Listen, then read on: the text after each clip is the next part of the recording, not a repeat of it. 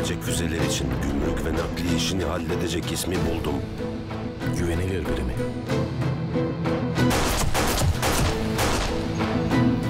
Bir saha incelemesine giderken suikaste uğradık ve uçağımız düştü. Mahvettim. Her şeyi mahvettim. Tanıyor musun? Stefan'ın intikamını al. Almanya'dan bir malları gelecekmiş. İçinde ne olduğunu bilmediğin için korktun. Bizim korkumuz pek yoktur Alemdar Polat.